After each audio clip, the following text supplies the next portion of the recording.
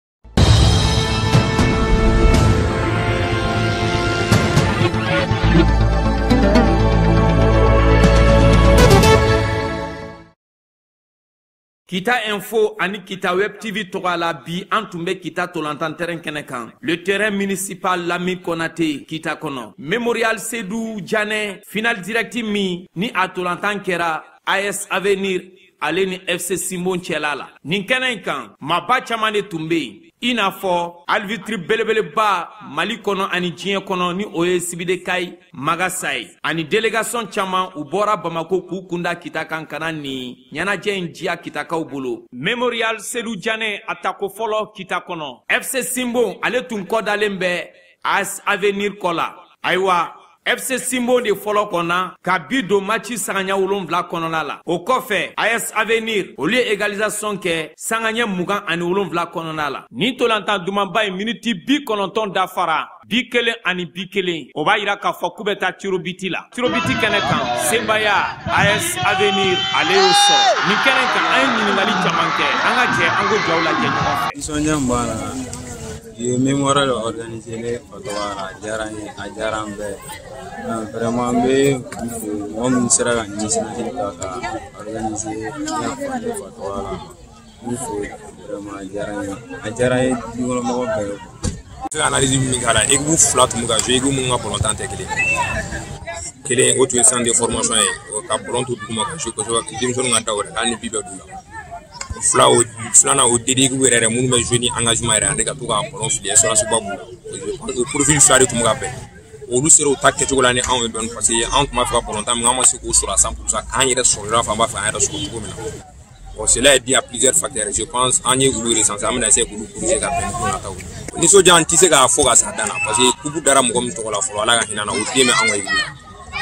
je pense a kuku dara don fɔlɔ min na an taara n'an ka denmisɛnnin fitiniw ye olu ma se ka taa yɔrɔ jan mɛ ni kumaba ninnu n'olu sera k'a ta an ka tila ka segin ka taa n'a ye so surtout a émission fɔlɔ o yɛrɛ o nisɔndiya bɛ n kan kosɛbɛ kosɛbɛ